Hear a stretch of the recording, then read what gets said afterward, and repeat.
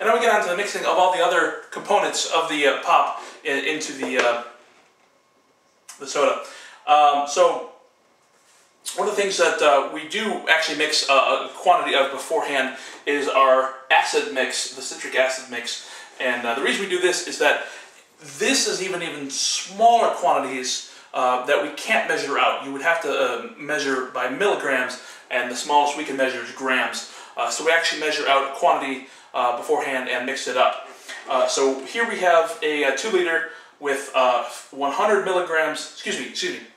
Here we have a 2 liter of 100 grams of sodium citrate, 100 grams of sodium benzoate, and 26 grams of citric acid in a 2 liter bottle. We use 10 milliliters of this per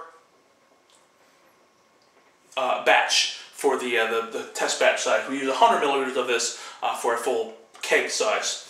Uh, so I'm going to measure out 10, 10 milliliters of this uh, into the uh, mix here. And again, this is a test batch, so I'm not going to be too careful here. But there's about 10 right there. So I'm going to put that in to our emulsion.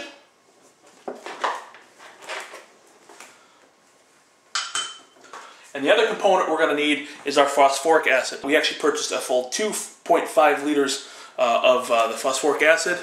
Um, extremely dangerous. Uh, if you get to this level, make sure you handle this carefully. Uh, touching this can, can burn your skin. Uh, very dangerous. So handle this with care. Um, I'm not actually going to pour out of this one. I've already poured out a small vessel. Earlier, I poured a small quantity of the phosphoric acid into a uh, little glass jar here. And remember, glass, glass, a little glass pipette here. We're going to measure out 0.7 milliliters.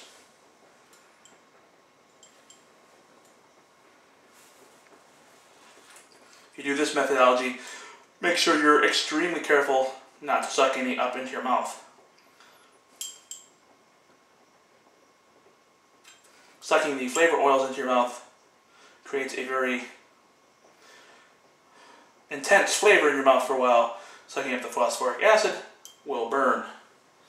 So into the emulsion goes the phosphoric acid. Phosphoric acid. I always want to say phosphate for some reason. Okay, now that we have all that mixed up, we're going to uh, pour it into our 2 liter. And then we'll start dumping some more water in here. Uh, I always try to dump out of the uh, container I dump from uh, to try to get more out of it. Kind of like using the Campbell soup can to measure your water so you get more of the concentrate out. If you actually mix this up and drink it, it will taste extremely bitter because we have several acids in there and no sweetener at all. Uh, especially when you mix it with the carbonation, uh, which creates carbonic acid, you get acid, acid, acid, which is why you add the sugar. Uh, we use regular table sugar um, as it is impossible to get small quantities of high fructose corn syrup, and a lot of people prefer the, the regular sugar anyways. Just adding regular sugar into here would not uh, create the right mouthfeel or sweetness. Uh, the regular table sugar is what's called a disaccharide, and we want to break up the two disaccharides into two monosaccharides. Uh, this creates a better mouthfeel and actually creates a sweeter uh, uh, product. Uh, so when we're doing the five gallon kegs, we actually mix up a it's 2,240 uh, kilograms uh, of sugar for a full five gallon keg. Uh, but I've also I've taken a container here, marked the sugar line, just dump the sugar in and it makes it go a lot faster. For a, a two liter, it's only divide by 10, 224 grams of uh, sugar. Um, when we're doing the full keg size, we actually heat up the water to boiling, uh, remove it from the boiling, add the sugar, stir it up, and that will, uh, the heat breaks up the two saccharides, the, the, the di disaccharides into two monosaccharides. Um, you don't want to overcook it, you don't want browning, you don't want caramelization, you just want to break those bonds. Uh, in the, uh, the small batch size, it's not so important um, So um, unless uh, sometimes we're doing a test batch, we'll make up a, a, full test batch and then divide that into 10 uh, for each of our test batch sizes. Um, if you don't, if you're not planning on making 10 or feel like wasting the sugar afterwards, uh, you can just uh, um, heat it up um, the, the, heat up with some water and, and it'll break it up pretty good. Uh, so I'm actually going to heat up um, about a cup of water um, and then dump it into uh, 224 grams of, of the sugar. So here we're going to measure our sugar. Uh, we got a nice little scale here. I picked this up at uh, Meijer's, pretty cheap. Um, so first thing you want to do is turn it on, set it to grams, uh, kilograms in this case. Um, we put the thing on here, it's going to measure this. We don't want to measure this, so we hit the tare. And what tare does is it cuts it back down to zero. So now the scale reads zero. We can add our, our sugar in. So again, we want 224 grams.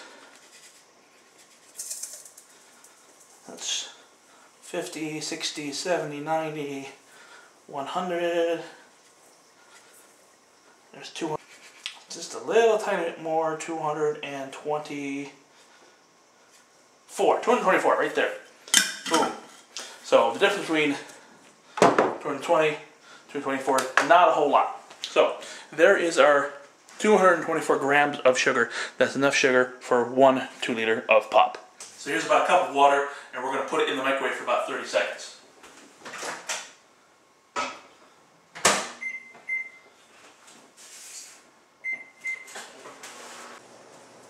So now I have about a cup of water, uh, got it hot out of the tap, then uh, heat it up for about 30 seconds in the microwave. We're just going to pour that right into our sugar. And it's going to start dissolving right away. We want to mix it up good and thorough. Try to get as many of those uh, disaccharides broken down into monosaccharides as possible here. So it, uh, it'll be a little bit cloudy, and then when it stops being cloudy, starts, it won't be quite clear, but almost clear. Uh, when it's almost clear, that's, that's pretty much when you have a, a good uh, simple syrup made up. So simple syrup is what we're making here. Um, you can uh, sometimes buy it at Gordon Foods. Uh, you have to order it though. We've never tried it that way because uh, this method seems to work just fine for us. So into the two liter with our other ingredients it goes. So, and uh, with this methodology you don't get a quite good enough uh, breakdown of the sugars, the dissolve, uh, dissolution of the sugar. So we're going to uh, just do this twice here, rinse it out, get as much sugar in there as possible. And we just have a little spill there. so there you go. We um, I started adding about a 16th of a uh, teaspoon of meringue powder, uh, and that's a foaming agent. And uh, some of the research I've done uh, seems to indicate that some of the professional pops uh, put a foaming agent in just to make it uh, uh, keep its head, keep the bubbles on a little bit longer. Um, a lot of the complaints we have about open soda is that it doesn't have enough carbonation. It actually has the exact same amount of carbonation, um, but I think part of the reason is the appearance because um, we have no foaming agent really. Um, the, uh, the foam tends to go away really fast and people just think it doesn't have the carbonation. So I added about a sixteenth of the uh, of a tablespoon of uh, the meringue powder in there. So now we have uh, a pretty good mixture here. Uh, we're going to fill this up a little bit more. So there's one last ingredient. this would actually taste pretty good, but as you notice, it's just clear. we now need to make it look like cola, and that comes from coloring.